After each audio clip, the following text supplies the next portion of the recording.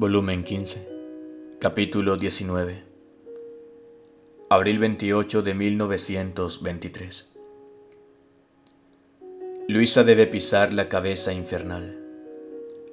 El vivir en el divino querer es el triunfo completo del Creador sobre la criatura. La finalidad principal de la venida de Jesús a la tierra fue que la voluntad divina triunfe sobre la voluntad humana.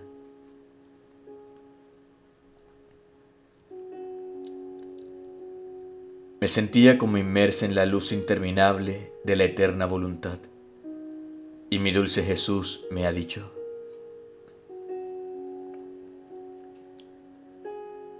Hija mía, mi divinidad no tiene necesidad de obrar para hacer salir sus obras, basta solo el quererlas, así que quiero y hago. Las obras más grandes, más bellas, salen fuera solo con que las quiera. En cambio, la criatura, aunque las quiera, si no trabaja, no se mueve, nada hace. Ahora, para quien hace suyo mi querer y vive en él como en su propia morada, le viene comunicado por cuanto a criatura es posible el mismo poder.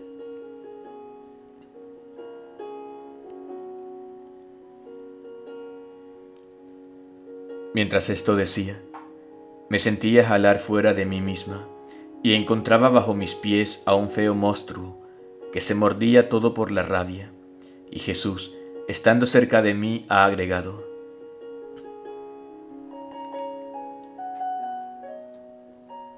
Así como mi Virgen Madre aplastó la cabeza a la serpiente infernal, así quiero que otra Virgen que debe ser la primera poseedora de la voluntad suprema, aplaste de nuevo aquella cabeza infernal para aplastarlo y debilitarlo en modo de arrojarlo en el infierno, a fin de que tenga pleno dominio sobre de él y no ose acercarse a quien debe vivir en mi querer.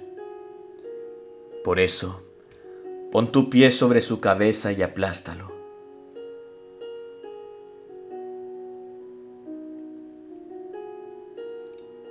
Yo osadamente lo he hecho, y aquel se mordía de más, y para no sentir mi contacto, se escondía en los más oscuros abismos. Entonces Jesús ha dicho,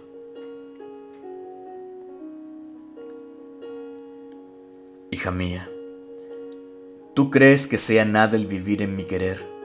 No, no, más bien es el todo, es el cumplimiento de todas las santidades es el dominio absoluto de sí mismo, de sus pasiones y de sus capitales enemigos. Es el triunfo completo del Creador sobre la criatura. Así que si ella se adhiere, y yo logro que vive en mi querer, sin querer conocer más su querer, no tengo más que querer de la criatura, y ella no tiene más que darme. Todas mis ansias están cumplidas, realizados mis designios no queda más que hacernos felices mutuamente.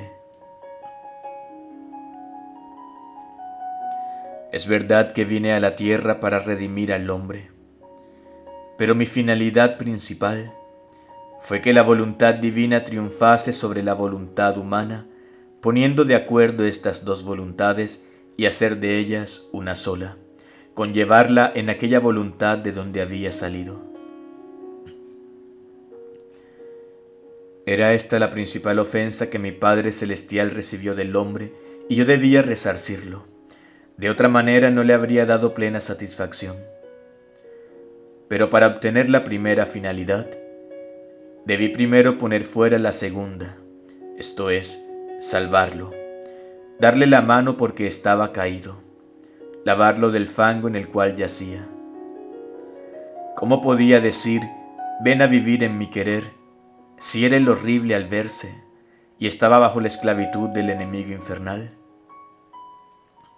Entonces, después de haber obtenido la segunda finalidad, quiero poner a salvo la primera, que mi voluntad se haga en la tierra como en el cielo, y el hombre salido de mi voluntad reentre de nuevo en ella, y para obtener esto, doy a esta primera criatura todos mis méritos, todas mis obras, los pasos, mi corazón palpitante, mis llagas, mi sangre, toda mi humanidad, para disponerla, para prepararla, para hacerla entrar en mi voluntad, porque primero debe tomar el fruto completo de mi redención, y como en triunfo, entrar en posesión del mar inmenso de mi suprema voluntad.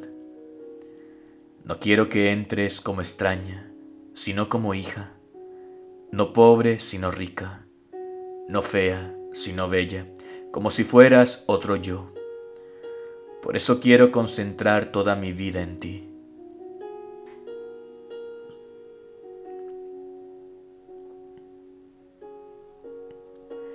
Y mientras esto decía, salían de él como tantos mares que se vertían sobre de mí, y yo quedaba dentro, abismada, y al mismo tiempo un sol que expandía su luz, porque recibí el fruto completo de la redención para poder dar el fruto completo de su querer a la criatura. Era el sol del eterno querer que festejaba la entrada de la voluntad humana en la suya. Y Jesús, esta mi voluntad divina, creció como una flor en mi humanidad, la cual yo trasplanté del cielo al verdadero Edén de mi humanidad terrenal. Germinó en mi sangre, brotó de mis llagas para hacer de ella el don más grande a la criatura. ¿No quieres recibirlo tú? Y yo, sí y Él. Quiero trasplantarla en ti. Ámala y debes saber custodiarla.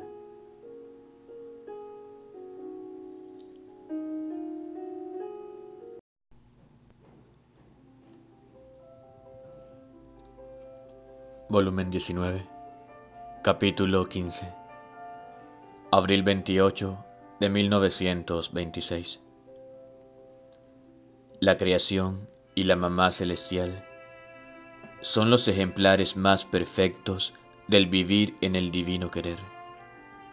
La Virgen superó a todos en el sufrir. Estaba pensando entre mí. Mi dulce Jesús, cuando habla de su querer, une casi siempre a la soberana Reina del cielo, o bien a la creación Parece que se deleita tanto de hablar de una o de la otra, que va buscando ocasiones, pretextos, reencuentros para manifestar lo que hace su santísima voluntad, tanto en la mamá celestial como en la creación. Ahora, mientras esto pensaba, mi amable Jesús se ha movido en mi interior, y todo ternura me ha estrechado así, y me ha dicho, hija mía. Si esto hago, tengo fuertes razones para hacerlo. Tú debes saber que mi voluntad, solamente en la creación y en mi mamá celestial, ha sido siempre íntegra y ha tenido libre su campo de acción. Ahora, debiendo llamarte a ti a vivir en mi querer como una de ellas, debía proponértelas como ejemplo como una imagen a la cual tú debes imitar. Así que para poder hacer cosas grandes, de manera que todos puedan recibir de aquel bien, a menos que no lo quieran, la primera cosa es que mi voluntad debe obrar integralmente en el alma. Mira la creación, como mi voluntad está íntegra en ella, y porque ella está íntegra, la creación está en su puesto y contiene la plenitud de aquel bien con el cual fue creada, y por eso se mantiene siempre nueva, noble, pura, fresca, y puede participar a todos el bien que posee. Pero lo bello es que mientras se da a todos, ella nada pierde, y está siempre tal como fue creada por Dios. ¿Qué cosa ha perdido el sol con dar tanta luz y calor a la tierra? Nada. ¿Qué ha perdido el cielo con estar extendido en la atmósfera?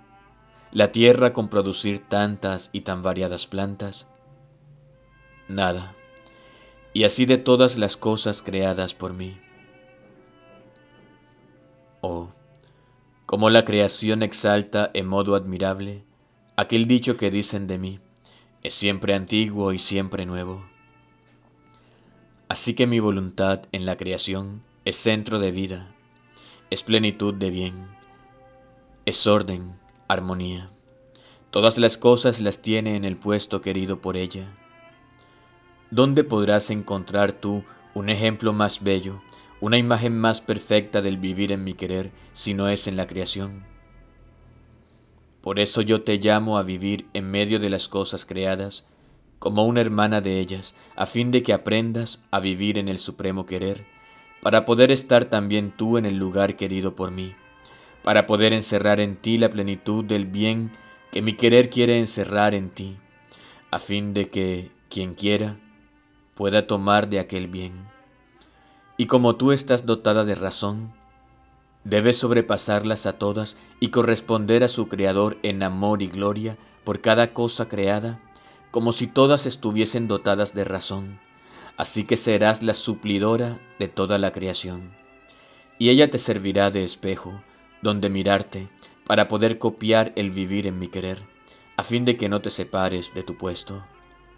Te servirá de guía y te hará de maestra, dándote las lecciones más altas y perfectas sobre el vivir en mi querer.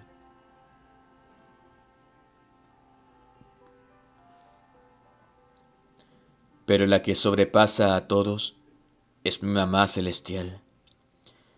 Ella es el nuevo cielo, es el sol más fulgurante, es la luna más brillante, es la tierra más florida, todo, todo encierra en sí, y si cada cosa creada encierra la plenitud de su bien recibido por Dios, mi mamá encierra todos los bienes juntos, porque dotada de razón y viviendo mi voluntad íntegra en ella, la plenitud de la gracia, de la luz, de la santidad, crecía a cada instante cada acto que hacía eran soles, estrellas que mi querer formaba en ella.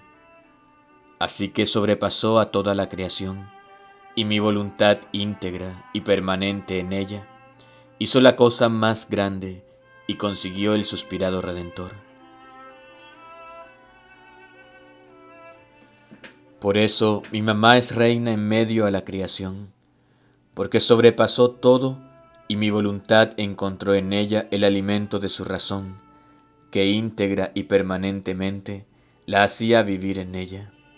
Había sumo acuerdo, se daban la mano mutuamente. No había fibra de su corazón, palabra, pensamiento, sobre del cual mi voluntad no poseyera su vida. ¿Y qué cosa no puede hacer un querer divino?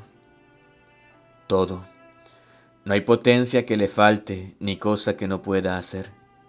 Por eso se puede decir que todo hizo y todo lo que los demás no pudieron hacer ni podrán hacer todos juntos, lo hizo ella sola.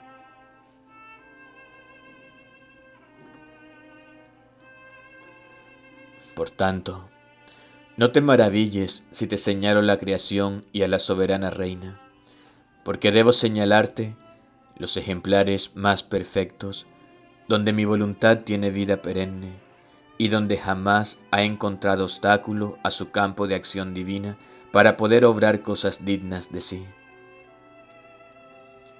Por eso, hija mía, si quieres que mi fiat supremo reine como en el cielo, que es la cosa más grande que nos queda por hacer para las humanas generaciones, haz que mi querer tenga el puesto de soberano y que viva íntegro y permanente en ti.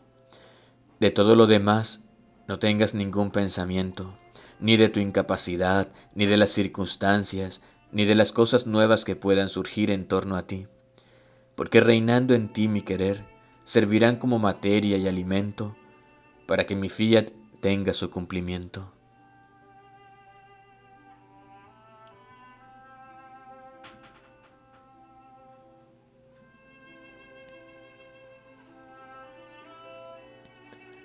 Después estaba pensando entre mí. Es verdad que mi reina mamá hizo el más grande de los sacrificios que ningún otro ha hecho. Esto es, el no querer conocer de ningún modo su voluntad sino solo la de Dios. Y en esto abrazó todos los dolores, todas las penas, hasta el heroísmo del sacrificio de sacrificar a su propio Hijo para cumplir el querer supremo. Pero una vez que hizo este sacrificio, todo lo que sufrió después fue el efecto de su primer acto.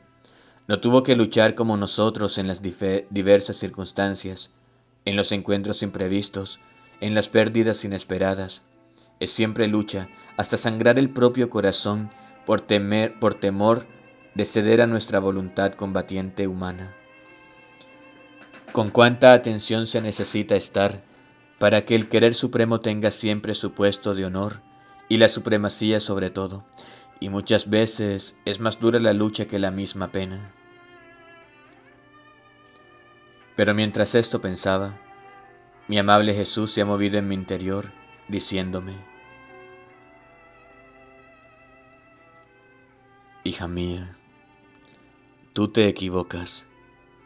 No fue uno el, máximo sacrificio de mi mamá, sino fueron tales y tantos, por cuantos dolores, penas, circunstancias y encuentros fue expuesta su existencia y la mía. Las penas en ella siempre eran duplicadas, porque mis penas eran más que penas suyas. Y además, mi sabiduría no cambió nunca dirección con mi mamá. En cada pena que debía tocarle, yo le preguntaba siempre si quería aceptarlas, para oírme repetir por ella aquel fiat en cada pena, en cada circunstancia y aún en cada latido. Aquel fiat me sonaba tan dulce, tan suave y armonioso, que lo quería oír repetir a cada instante de su vida, y por eso le preguntaba siempre, Mamá, ¿quieres hacer esto? ¿Quieres sufrir esta pena? Y a ella mi fiat le llevaba a los mares de bienes que contiene, y le hacía entender la inmensidad de la pena que aceptaba, y este entender con luz divina lo que paso a paso debía sufrir, le daba tal martirio que supera infinitamente la lucha que sufren las criaturas, porque faltando en ella el germen de la culpa, faltaba el germen de la lucha, y mi voluntad debía encontrar otro medio para hacer que no fuese menor que las otras criaturas en el sufrir, porque debiendo adquirir con justicia el derecho de reina de los dolores, debía superar a todas las criaturas juntas en las penas. ¿Cuántas veces no lo has sentido tú misma, que mientras no sentías ninguna lucha, mi querer, haciéndote entender las penas a las cuales te sometía, Tú quedabas petrificada por la fuerza del dolor, y mientras quedabas destrozada en la pena, tú eras la pequeña corderita en mis brazos, pronta a aceptar otras penas a las cuales mi querer te quería sometida. Ah, ¿no sufrías tú más que con la misma lucha? La lucha es señal de pasiones vehementes, mientras que mi voluntad, si lleva el dolor, al mismo tiempo da la intrepidez, y con el conocimiento de la intensidad de la pena le da tal mérito que sólo una voluntad divina puede dar. Por eso, como hago contigo, que en cada cosa que quiero de ti primero te pregunto si quieres, si aceptas, así hacía con mi mamá, a fin de que el sacrificio sea siempre nuevo y me dé la ocasión de conversar con la criatura de entretenerme con ella, y que mi querer tenga su campo de acción divino en la voluntad humana.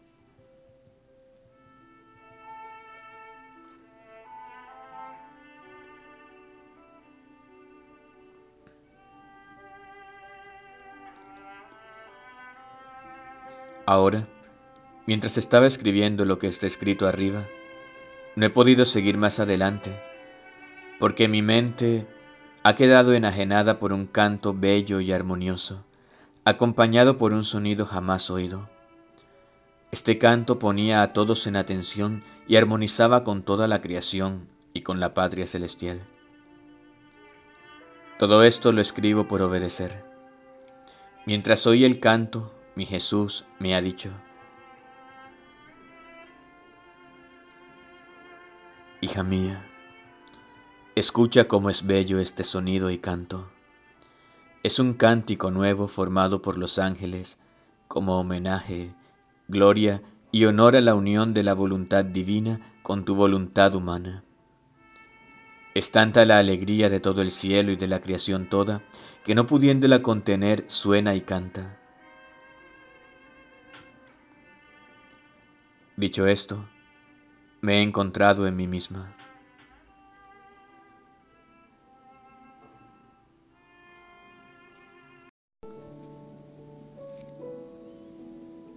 Volumen 26, capítulo 5, abril 28 de 1929.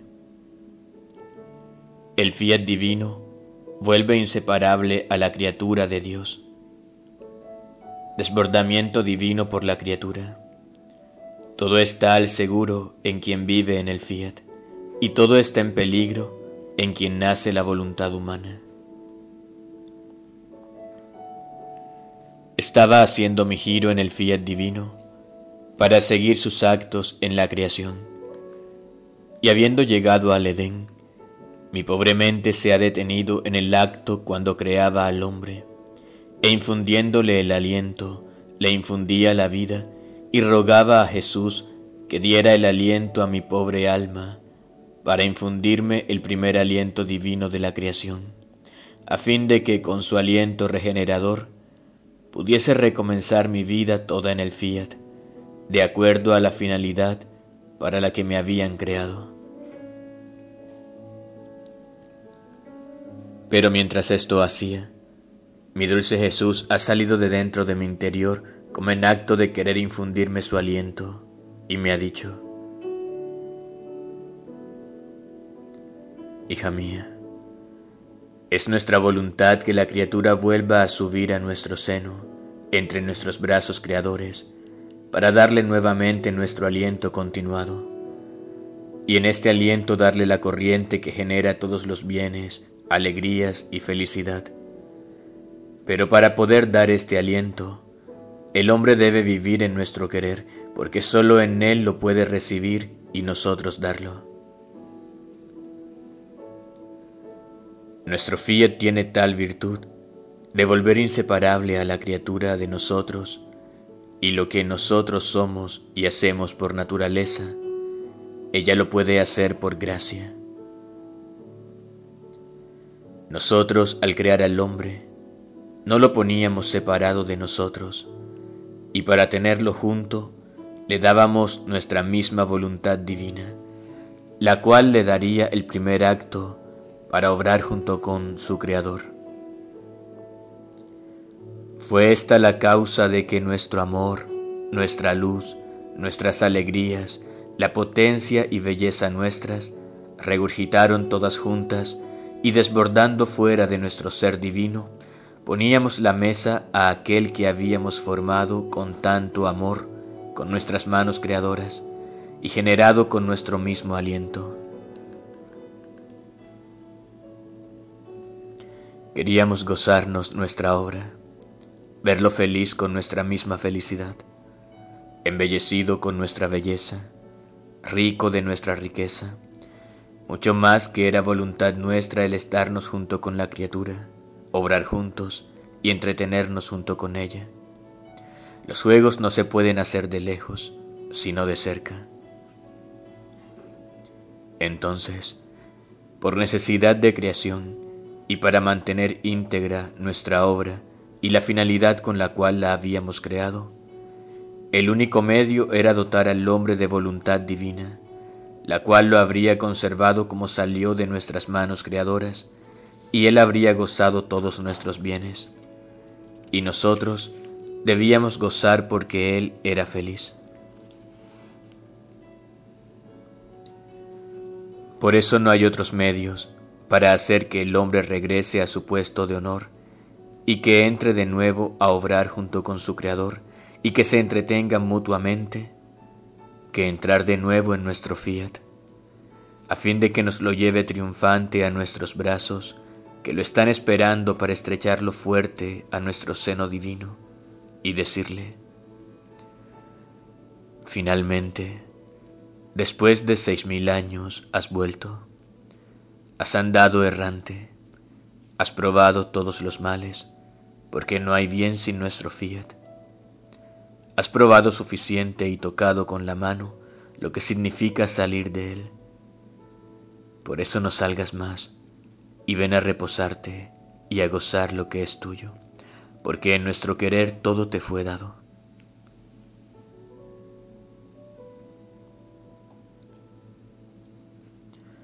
Por lo tanto, hija mía, sé atenta. Todo te daremos si vives siempre en nuestro fiat. Nuestro aliento tomará placer en darse siempre a ti, para darte nuestras alegrías, nuestra luz, nuestra santidad, y comunicarte la actitud de nuestras obras, a fin de que siempre podamos tener junto a la pequeña hija regenerada por nuestra divina voluntad.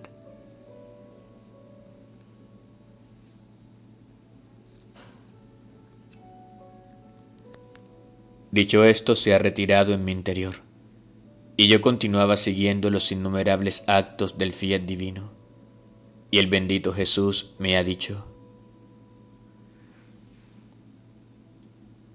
Hija mía, es prerrogativa de mi querer divino poner al seguro todo lo que posee, así que cuando entra en el alma, como poseedor de ella, todas las cosas las pone al seguro. Pone al seguro la santidad, la gracia, la belleza, todas las virtudes, y para hacer que todo esté al seguro, hace sustituir en el alma su santidad divina, su belleza, sus virtudes, todo en modo divino, y poniendo en ello su sello que es intangible de todo cambio, vuelve a la criatura intangible de todo peligro. Así que, para quien vive en mi querer, nada hay que temer porque Él ha asegurado cada cosa con su seguro divino. En cambio, la voluntad humana hace que todo quede en peligro, aun la misma santidad, las virtudes que no están bajo el dominio continuo de mi fiat, están sujetas a peligros continuos y oscilaciones continuas. Las pasiones tienen el camino abierto para poner todo en desorden y arrojar por tierra las virtudes, la santidad, formadas con tantos sacrificios. Si no está la virtud vivificadora y alimentadora continua de mi querer, que, que cierre todas las puertas y todos los caminos a todos los males, la voluntad humana tiene puertas y caminos para hacer entrar al enemigo, el mundo, la estima propia, las miserias, las turbaciones, que son la polilla de las virtudes y de la santidad. Y cuando está la polilla, no hay fuerza suficiente para estar firmes y perseverantes en el bien. Por eso todo está en peligro cuando no reina mi divina voluntad. Además de esto, es tanto el mal que no reine nuestra divina voluntad en medio de las criaturas, que todas las cosas están en continua oscilación. Nuestra misma creación, todos los bienes de la redención son intermitentes, porque no encontrando en la familia humana nuestro fiat reinante, no siempre puede dar los mismos bienes. Es más, muchas veces nos debemos servir de la creación y redención para armarla en contra del hombre porque el querer humano se pone en contra del nuestro, y nosotros, por justicia, debemos golpearlos para hacerle comprender que no reinando nuestro querer, el humano rechaza nuestros bienes y nos obliga a castigarlos. La misma gloria que nos da la criatura por medio de la creación y redención no es fija, cambia a cada acto de voluntad humana. Así que el pequeño interés que nos debía dar la criatura, de su amor y de su gloria que nos debería dar, porque tanto le habíamos dado, no es ni siquiera renta fija, sino que todo es intermitente, porque sólo nuestra voluntad tiene virtud de volver irremovibles y continuados sus actos y aquellos donde ella reina. Así que, hasta que no reine nuestro fiat divino, todo está en peligro. La creación, la redención, los sacramentos, todos están en peligro. porque el querer humano ahora abusa, ahora no reconoce a aquel que tanto lo ha amado y beneficiado. Ahora pisotea bajo sus pies nuestros mismos bienes. Por eso, hasta en tanto nos reine nuestro querer, que pondrá en medio de las criaturas el orden divino, su firmeza, armonía y su día perenne de luz, de paz, todo estará en peligro para Él y para nosotros. Nuestras mismas cosas estarán bajo la opresión del peligro y no podrán dar a las criaturas los bienes abundantes que ellas contienen.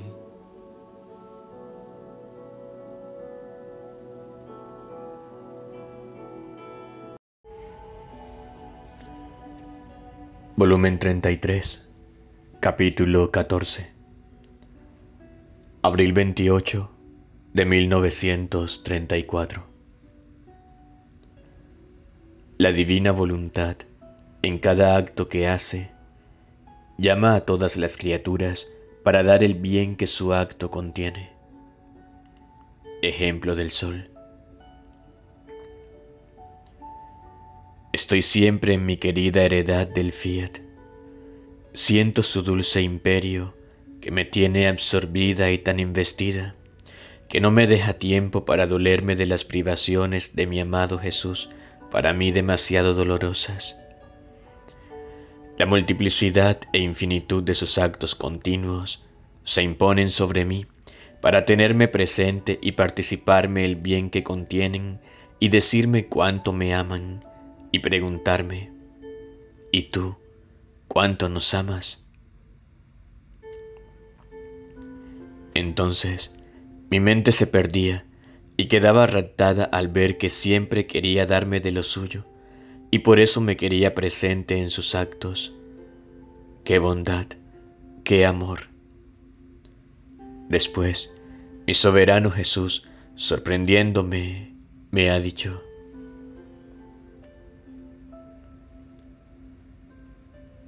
mi pequeña hija de mi querer. Tu Jesús tiene el trabajo de manifestar los secretos de mi voluntad divina y manifestar su amor que da, porque no sabe estar ni puede estar si no da de lo suyo de manera continua a la criatura. Tú debes saber que cuando mi voluntad hace un acto, llama en su acto a todas las criaturas las quiere a todas consigo, para dar a cada una el bien que posee aquel acto. Así que todas son encerradas en su acto y reciben el bien de la herencia divina. Con esta diferencia, que quien está en nuestra voluntad voluntariamente y por amor, de él queda poseedora. Y quien no está, el bien no queda perdido, sino que espera a su heredera quien sabe y se decida a hacer vida en nuestra voluntad para darle la posesión. Y por generosidad toda divina, le damos el interés del bien que le habíamos asignado, esto es, los efectos, para hacer que no muera de hambre de los bienes de su Creador, porque nuestra voluntad posee en naturaleza la virtud universal, y por eso en cada acto suyo llama a todos, abraza a todos, envuelve a todos y da a todos sus bienes divinos. Símbolo e imagen es el sol, que habiendo sido creado por mi fiat con su virtud universal, da su luz a todos, no la niega a ninguno. Y si alguno no quisiera tomar el bien de su luz, el sol no destruye la luz que a aquel tal pertenece, ni la puede destruir, sino que espera hasta que aquel tal se decida a tomar el bien de la luz. Y entonces no se niega, rápido se da, y hasta en tanto que no se decida a tomar directamente el bien de la luz, le da el interés por medio de las otras cosas creadas en las cuales el sol tiene su acto primero. En todas las cosas creadas hay a quien da la fecundidad y la maduración aquí en el desarrollo y la dulzura. No hay cosa creada en la cual el sol no le dé de lo suyo. Por eso la criatura, tomando el alimento, sirviéndose de las plantas, toma los efectos y los intereses que le da la luz que a él pertenece y que voluntariamente no toma. Más que sol es mi voluntad. En todos los actos que hace, llama y tiene presentes a todas las criaturas y a todas da sus bienes divinos. Ahora, quien vive en nuestra voluntad, como posee como propiedad suya el bien que en cada acto mi querer le ha dado, siente en sí la naturaleza del bien, ya que el bien está en su poder. La bondad, la paciencia, el amor, la luz, el heroísmo del sacrificio están a su disposición. Y si tiene la ocasión de ejercitarlos, sin esfuerzo los ejercita y si no se tiene la ocasión de ejercitarlos, los posee siempre, como tantas nobles princesas que forman el honor, la gloria de las propiedades que le ha dado mi voluntad. Sucede como al ojo que posee la vista. Si es necesario que vea, que se ayude con la vista, lo hace. Si no es necesario, no pierde la vista, sino que tiene su ojo como gloria y honor porque posee su ojo que ve. Poseer mi voluntad y no poseer las virtudes como en naturaleza suya es casi imposible. Sería como un sol sin calor, como un alimento sin sustancia, como una vida sin latido. Por eso, quien posee mi voluntad posee todo, como dones y propiedades que lleva consigo mi querer divino.